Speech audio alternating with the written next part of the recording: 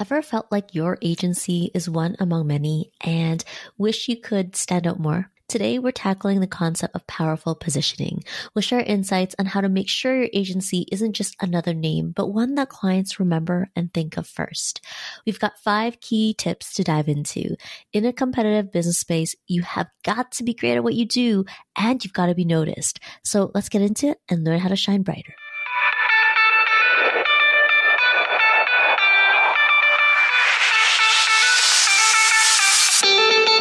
Welcome to the Small But Mighty Agency podcast. If you're a marketer, a consultant, or a creative who's on the journey of growing from solopreneur to agency owner, follow along because I pull back the curtains on the realities of growing and running a scalable service based business and building a lean team. I'm your host, Audrey Joy Kwan. I know what it takes to build an agency. Whether it's from solo to three, five, or 20, I've done it, including supporting an agency owner to sell and exit. I've coached and consulted over 120 marketers, creatives, and consultants, and I've been behind the scenes of seven figure businesses. I also have a master's degree in communications specializing in organizational development. All this to say, I know what it takes to grow, lead, and operate a multiple six and seven figure small but mighty agency. And here on this podcast is where we'll dive right in. Hi, friends. Welcome back to the Small But Mighty Agency podcast. In the last episode, I talked about positioning your agency by asking a question to get you thinking differently. I asked the question, what do you wish people would do more or less in your niche? That question explores your positioning by challenging the norms in your niche. But what is positioning? It's about deciding where you want your service to stand in the minds of your clients relative to other options they might consider. Think of it like a shelf in a store. You want your product to be on the eye level shelf, easily noticed and distinguishable from the others around it. And even more important, why positioning? Imagine you're at a party with hundreds of people and everyone is wearing similar outfits. Now, your friend is looking for you, but since everyone looks so alike, it takes a lot of work to spot you.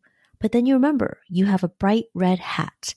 You put the hat on your head and suddenly among the sea of similar looking outfits, your friend can find you because you stand out effortlessly. In your niche, positioning is like that bright red hat. It helps your business stand out among a crowd of similar businesses. Without positioning, your business might get lost in the crowd, making it hard for ideal clients to find and choose you. With good positioning, you become noticeable and memorable, attracting more clients. If you want to have standout positioning, here are five ways to start exploring. First, using your niche knowledge. Knowledge is power. When you have focused knowledge in a niche, make sure you're tapping into it fully. You chose a niche to be an expert, so don't underestimate the knowledge you've acquired this year. Do an inventory of the knowledge you've gained through seminars, events, forums, online groups, and networking events that you've been a part of this year that are in your niche. There are dots and ideas you can connect across these different channels you're immersed in. The combination of these channels gives you insights that others don't have access to and supports you to stay updated as your niche evolves year after year setting aside CEO time or dedicated time to inventory the knowledge for yourself and looking for insights to connect is highly recommended because it's a good way to take full advantage of positioning. A second approach is to challenge the norms of your niche. Standing out means standing for something different and authentically caring about it. Exploring going against the norm is part internal exercise and part external exercise. Internally, start with these two questions. Question number one What is not being said that needs to be said in your industry? Question number two What do you wish people would do more or less in your industry? Externally get feedback from your clients about these two questions. If you know me, you know that I believe the quality of your question creates the quality of your answer. In other words, ask better questions. Now, you're not asking clients what they like or don't like about your industry or niche with these two questions. These two questions are about understanding your client's pain points, preferences and needs from a new perspective. A great example is Dollar Shave Club's viral launch video. If you're not familiar with it, look it up. Part of the success of the brand and the video wasn't just humor. Yes, it was funny, but it also criticized traditional razor brands and therefore positioned themselves as relevant and approachable. That's the power of challenging norms. The third option is to find a hill you will die on, metaphorically, of course. Finding a hill you will die on means choosing a specific belief that your agency feels so strongly about that you're willing to stand by it no matter what. I watched a video with my husband about the sub minimum wage in the restaurant industry in certain states in the US being $2.13. Yes, that means your server or host or hostess in certain states might be making $2.13, and the rest of their wages are tips. In the video, they featured a restaurant in Austin, Texas, and this restaurant had a great example of the metaphorical hill to die on. They implemented a mandatory 20% service fee on all bills. They aimed to pay their servers, hostess, and hostesses between $17 to $21 an hour because the restaurant owners believe in providing wages to support the livelihood of their staff. Now, whether you agree or don't agree with the approach is not the point here. The point is, when you have a belief you feel firmly over, you have an unwavering commitment in your business to that belief or principle, even though not everyone might agree with you. A metaphorical hill you will die on helps your business stand out because it tells clients what you genuinely care about.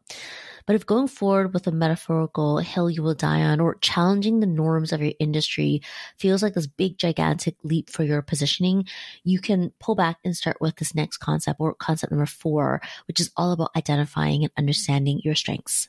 Every business has a pot of resources. Knowing your strengths helps you use the pot wisely. When you pour into areas you're great at, you ensure those superpowers shine even brighter. When you lean harder into your strengths as a position, you're focusing your resources and efforts on those who will most resonate with what you excel at. And this could very well be a micro niche within your niche leaning into your strengths versus a hill you will on, is it more vanilla or easier if that's crossed your mind? Because positioning for your strengths leads to releasing things are not your strengths. That could be a percentage of clients or letting go of legacy clients. All of it takes courage. Fifth, communicate your return on investment. Once upon a time when clients were not as marketing savvy and before the ease of access to online learning of strategy and concepts, big claims were easier to make and buy into. But flash forward today, communicating the return on investment is not all about big claims. It's about getting clear on what exactly your client will get and what that will look like. In other words, this isn't all about guaranteeing your clients will make millions of dollars. If you hear that, run the other way because no one can guarantee that. It's about knowing the milestones that matter to your clients and their journey to the goal, followed by how your service will impact the journey and then knowing how to communicate it. Positioning your ROI leads to value perception, which lends to your business standing out from others. In summary, we dived into the concept of positioning, which is the art of making your business stand out among a crowd of similar agencies. Positioning is a strategy to place your service in a prime spot in your client's mind. Just like the analogy of wearing a bright red hat at a party makes you stand out among a sea of lookalike outfits. Great positioning makes your business noticeable and memorable in the market. Before we wrap up here, let me give you the bite-sized version of the five five ways to help you achieve that standout positioning. Number one, harnessing niche knowledge. It's not just about knowing your niche, but actively immersing yourself in it. Your unique insights accumulated over time can be a strong differentiator. Number two, challenging the norms. By questioning the status quo and understanding the unheard needs in your industry, you can offer unique perspectives and solutions that others don't.